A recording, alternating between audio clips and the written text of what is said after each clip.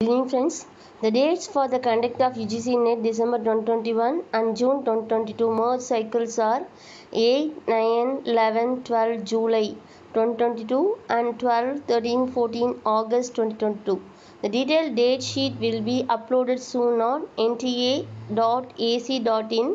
and https dot double slash. Best wishes to the to all the applicants. So friends, uh, it is uh, posted there in uh, Jagadesh Kumar's uh, uh, that is uh, website. So it is uh, entreated there by Jagadesh Kumar.